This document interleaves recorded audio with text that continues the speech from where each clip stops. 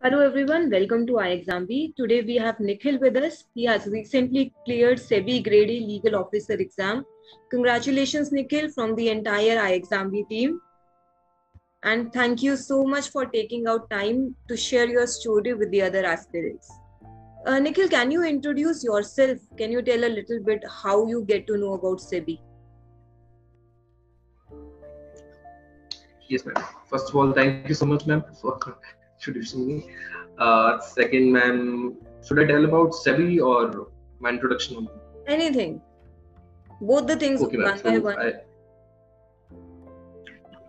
okay, so first of all, if I may give a uh, may give a brief about my legal background. I graduated in 2017, and after that, I've been working in litigation uh, for the past four years. And along with that, I was preparing for judicial services exam.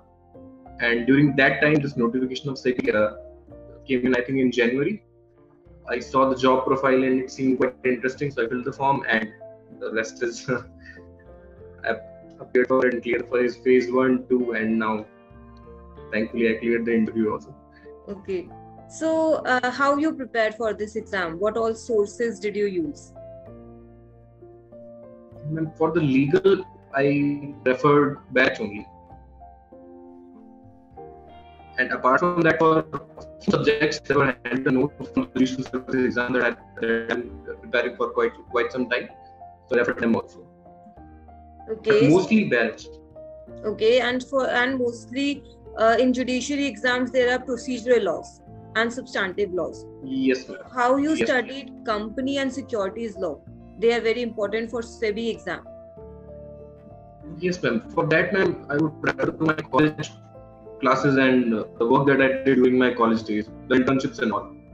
They were quite handy to me because the work profile during my internship days was related, was related to uh, SEBI and securities acts and company law, company law only. So that was that guided me through. Okay.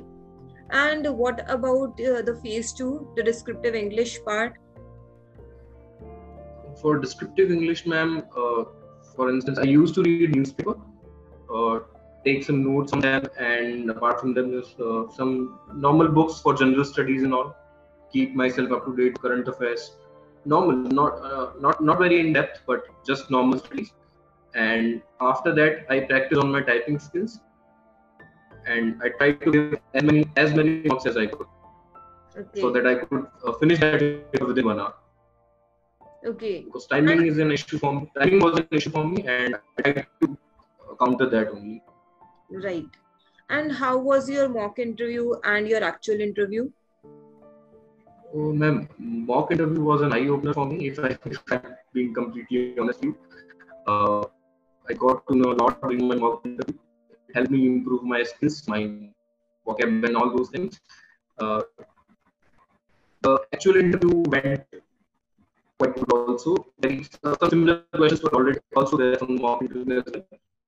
Uh, all in all, man, experience was really, really good. Okay. Uh, can you tell give a list of sources for GA which you used so that other aspirants can also follow that for general For, awareness? For general awareness. For What general awareness, Yes. Ma'am, mostly I relied on newspapers. Apart from that, apart from that, there are weekly current affairs also also available on ixamBee's website also, and there are various other sources from internet. And I mostly relied on economics current affairs, current affairs relating, uh, to economic developments. Okay. Okay. Uh, Nikhil, any other key points you observed? Any things you uh, an aspirant should keep in mind while preparing for this exam? Ma'am, for legal, I would say that people should rely on bare acts because most of the questions are asked directly from the bare acts. The difficulty level is not that much. Uh, around 40 to 45 questions are quite relevant to the subject topics. Five, five to seven questions might be there that that would uh, that were really really difficult, but most of them could be solved easily with the help of bare acts.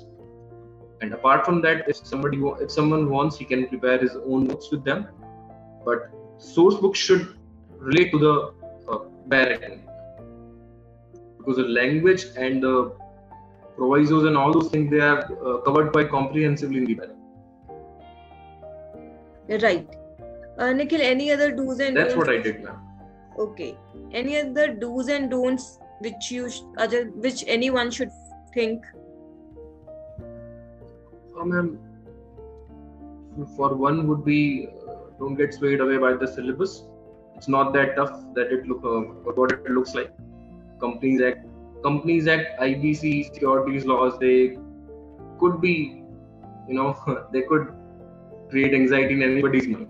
But once you get to know them, just be cons- consistent in your approach, and that would be fine. And what did you use for practice for the legal part? Uh, ma'am, I tried to give mock as well. I mostly relied on the mock test. I used to read one subject, and then I then I gave mock tests for, for that particular subject. And after I was done with my entire syllabus, I gave the full course uh, full course mock tests. Uh, in your course. Yes, ma'am. Okay. Uh, so uh, by mock test, I understand you are referring to chapter test of all the acts. Yes, ma'am. Initially the chapter tests. Yes. Yes. Initially the chapter test, and once the syllabus was complete from my side, then I gave the full test, Okay. full subject mock test. Okay. So uh, how were these questions? How were these tests helpful? Ma'am, the test really helped a lot. It uh, it helped me gauge my preparation uh, about where do I stand at, the, uh, at any relevant point of time. Uh, for instance, my target was to score around 60 to 70 in every mock test. So initially, I was scoring uh, quite less, but later on, I improved. And with the help and the mock test uh, really guided me through the through the entire process. What would my what were my weak points and where I was very strong and all those. Things. Okay. And were you there in the classes as well? So were you attending? Oh yes, ma'am. So, yes, ma'am. uh, how uh, can you uh, guide this aspirants how to make the best use of classes? Ma'am, mostly if someone could make the notes out of the classrooms, that would be fine. If not that, then keep a bare act handy with you. Uh, write down the notes in the bare act only. Whatever is missing or whatever is being taught in the classroom, just note that in the bare act. And at the end of the day, you can either compile your notes with the bare acts or if you have make if you have made notes in the bare act only, then refer to that bare act that's that's what I did, man. Because I did not uh, refer to any reference book outside outside the syllabus, outside what what was being uh, taught to us, or any other book for that matter. Okay, so as I have been suggesting everyone that whatever ixamBee is providing, apart from that, only refer to your bare acts, and that is more than enough. And I think you are mentioning that that is enough. That helped you enoughly for your preparation. Yes, ma'am. For me, that would be it. Okay, okay. because whatever extra is there is already being taught in the classroom, so no no one has to refer to any outside source for that, unless somebody is preparing for by himself. Okay. Uh, okay, Nikhil, that was really insightful.